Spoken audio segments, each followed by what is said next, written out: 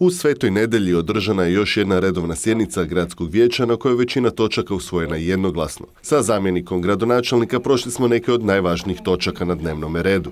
Evo, e, sjednice gradskog vijeća poprilično sa konsenzusom, e, to mi je drago. Bilo bi mi još draže da oporba ima malo konstruktivnih predloga, ali eto ga. E, danas smo konstituirali novi savjet mladih. E, žao mi je što je niko od članova oporbe koji su tako zazivali formiranje savjeta mladih nije poslao svoj predlog, tako da smo imali samo od dvije organizacije civilnih društva predlog, ali izglasili smo. Također imali smo analizu stanja civilne zaštite, e, otvorili smo novi prostore civilne zaštite u Orešu, pripremamo jednu veliku vježbu na proljeće, također imamo plan edukacija kroz ovu godinu što e, operativnih članova, isto tako i građana Imali smo neke e, formalne točke usklađivanja sa zakonom.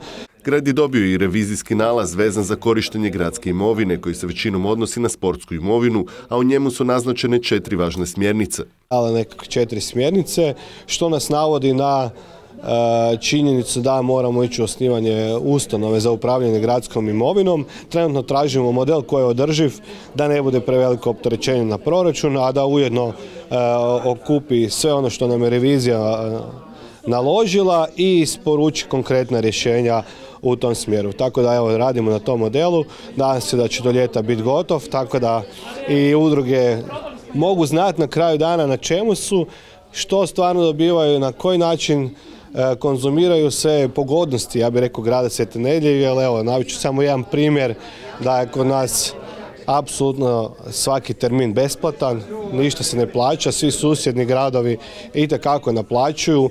Mi ujedno što to nemamo, ne možemo ni komercijalizirati one slobodne termine, a to bi mogli biti dodatni prihodi u samu ustanovu. Zamjenik Dejako osvrnuo se na veliki projekt uvođenja superbrzog interneta na području grada. Tako je, tako je. To je jedan sveobuhvatni projekt koji je umalo propao, ali eto, grad Svetaneja preuzeo vođenje, tog projekta 2018. Na kraju smo prošli na tom natječaju. Sami e, nositelj projekta je Hrvatski telekom, e, povučeno je 116 milijuna kuna, taj projekt obuhvaća i Samobor i Svetonelju i Stupnik, znači ide optički internet 100 megabita up and down download, tako da je to super stvar za ja bih rekao i za poduzetnike u Svetonelji i za građane. Trebala bi biti gotova do 30. kolovoza.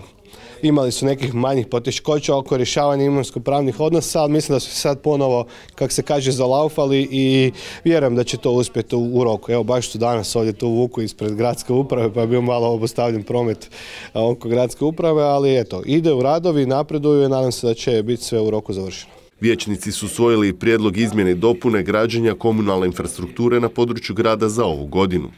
Tako je, e, imali smo tehničku promjenu u planu građenja, sam iznos e, e, ovaj, izglasan u proračunu grada Svetenelje ostaje isti, ali se prenamjenjuje sa projekata u Rakitju i u potezu između Bestovja, Novaka i Svete nedelje u pripremu radova za rekonstrukciju ulice Franje Tuđmana koja je jedna od naj, najprometnijih ulica u gradu Svjetonedi i e, e, pripremu radova za ulice e, Rakitska i Zagrebačka, odnosno tamo od tempa, od Silaska sa autoputa do, do ja bih rekao, skretanja za kamp gdje, gdje je stao rekonstruirani dio Rakitske ceste.